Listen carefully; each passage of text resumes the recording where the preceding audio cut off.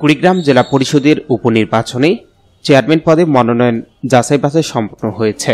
বৃহস্পতিবার জেলা নির্বাচন অফিসের হলরুমে প্রার্থী ও সমর্থকদের উপস্থিতিতে মনোনয়ন যাচাই বাছাই করেন জেলা নির্বাচন অফিসার ও রিটার্নিং কর্মকর্তা জিল হাসুদ্দিন কুড়িগ্রাম জেলা পরিষদের শূন্য পদে ছয়জন প্রার্থী মনোনয়নপত্র সংগ্রহ করলেও জমা দেন তিনজন প্রার্থী।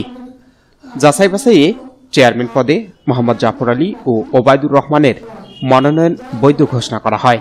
অন্যদিকে, আরেক প্রার্থী এস এম সানালাল বক্সির প্রার্থীর প্রস্তাবকারী অনুপস্থিত থাকায় তার প্রার্থিতা স্থগিত করা হয়েছে।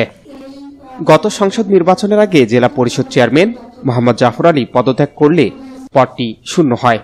আগামী নয় মার্চ কুড়িগ্রাম জেলা পরিষদের উপনির্বাচন ভোট গ্রহণ অনুষ্ঠিত হবে।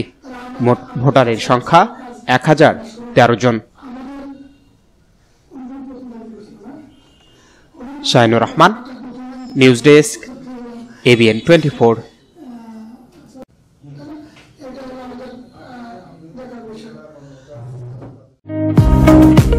Alam Sar palace, এখানে TV, fridge, rod, cement, shallow machine ও পাওয়ার টিলার সহজ কিস্তিতে বিক্রি করা হয়। প্রোপাইটার মোহাম্মদ মিস্টার আলম, স্থান Khalaspir Pirganj Rangpur.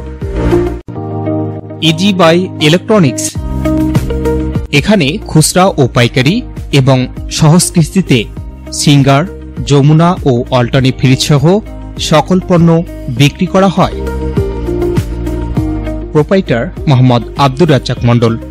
স্থান উপজেলা পরিষদ সংলগ্ন জামতলা রোড পীরগঞ্জ রংপুর।